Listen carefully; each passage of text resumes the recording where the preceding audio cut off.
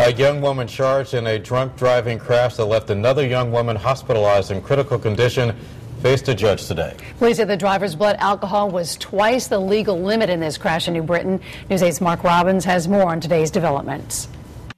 Jessica Parr stood silently facing a judge this afternoon in New Britain Superior Court.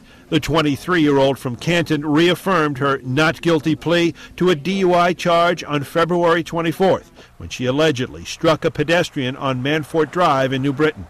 The victim, Kimberly Tyresek of Portland, remains hospitalized with critical injuries at St. Francis Hospital in Hartford. This is the second DUI charge for Parr. She's currently going through the legal process in Hartford for her first case. Today, the prosecution asked for and received a continuation. Parr will return on April 14th for her next court appearance. In New Britain, Mark Robbins, News 8.